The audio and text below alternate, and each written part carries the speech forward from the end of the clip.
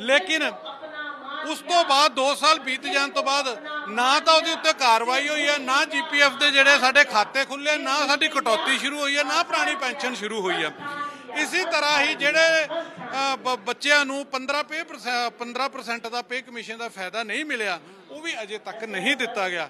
Even ਕਿ ਗੱਲ ਦੇਖੋ, ਜਿਹੜੀ ਸਰਕਾਰ ਕਹਿੰਦੀ ਸੀ ਵੀ ਕੇਂਦਰ ਸਰਕਾਰ ਦੇ ਕਹਿਣ ਤੇ ਜਿਹੜੀ ਆ ਸਾਡੀਆਂ ਸਰਕਾਰਾਂ ਚੱਲਦੀ ਹੈ ਚਾਹੇ ਉਹ ਕਾਂਗਰਸ ਹੈ, ਇਹ ਖੁਦ ਹੁਣ ਜਿਹੜੀ ਸੈਂਟਰਲਾਈਜ਼ਡ ਹੋ ਗਈ ਦਿੱਲੀ ਤੋਂ।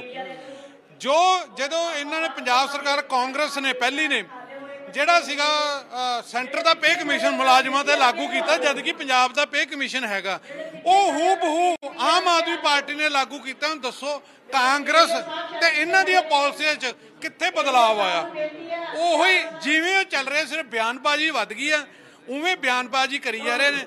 ਲੇਕਿਨ ਕਿਸੇ ਤਰ੍ਹਾਂ ਦਾ ਫਾਇਦਾ ਜਿਹੜਾ ਨਹੀਂ ਡੀਏ ਏਰੀਅਰ ਪੈਨ, ਜਿਹੜੇ ਸਾਡੇ ਪੈਨਸ਼ਨ, ਉਹਨਾਂ ਨੂੰ 2.5 ਦਾ ਫਾਰਮੂਲਾ ਕੱਚੇ ਮੁਲਾਜ਼ਮਾਂ ਨੂੰ ਪੱਕੇ ਕਰਨਾ ਆਊਟਸੋਰਸ ਵਾਲਿਆਂ ਲਈ ਪਾਲਿਸੀ ਬਣਾਉਣਾ। ਈਵਨ ਕਿ ਦੇਖੋ ਜਿਹੜੇ ਹੋਮ ਗਾਰਡ ਵਾਲੇ ਰੋਪੜ ਦੇ ਵਿੱਚ ਬੈਠੇ ਉਹ ਉੱਥੇ ਦੇ ਉੱਥੇ ਹੀ ਬੈਠੇ ਤੇ ਉਹਨਾਂ ਨੂੰ 4 ਸਾਲ ਹੋ ਗਏ ਉਹਨਾਂ ਦਾ ਵੀ ਸਰਕਾਰ ਨੇ ਕੁਝ ਨਹੀਂ ਕੀਤਾ।